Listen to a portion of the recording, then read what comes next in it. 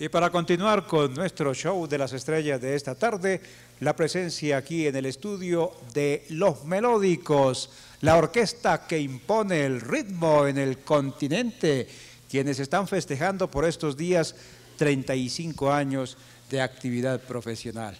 Me acompaña Renato Capriles, su fundador y director. Muy buenas tardes, Renato. ¿Cómo estás, Jorge? Para mí es un placer estar una vez más. Estoy recordando que Aquí hicimos los primeros programas de televisión. Tú eras un muchachito en esa época cuando éramos unos muchachitos. Claro, comenzamos muy temprano. ¿no? Los primeros programas de televisión que hicimos para Colombia lo hicimos contigo.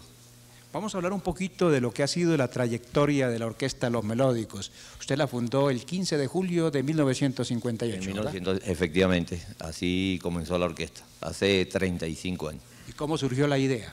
Bueno, a mí de muchacho siempre me había gustado lo que era la música y en los colegios tenía los grupos eh, musicales.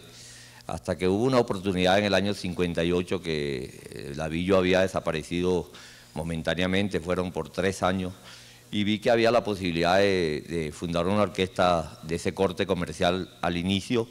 Eh, yo quería que mi orquesta fuera como Villo, no existía Villo en ese momento, y posteriormente, por supuesto, los arreglistas le fueron creando su propio estilo. Y de esa época aquí han pasado ya muchos años. Bueno, Renato, usted ha sido un gran promotor también de la música colombiana.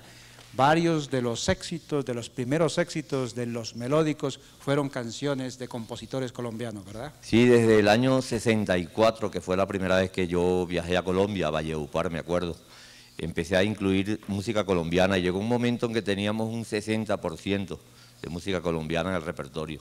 Ya después con los viajes a otros países ese porcentaje fue variando, pero al principio había un 60%. ¿Y cuál fue el primer éxito de los melódicos? El primero fue ¿Por qué será mi novia en Aiguatá? Eh, Misia Juanica, eh, Mensaje a Juan Vicente, números que, por, eh, por cierto, hizo Villo especialmente arreglos y composiciones de él para la orquesta. ¿Cuántos discos han grabado ya? 91.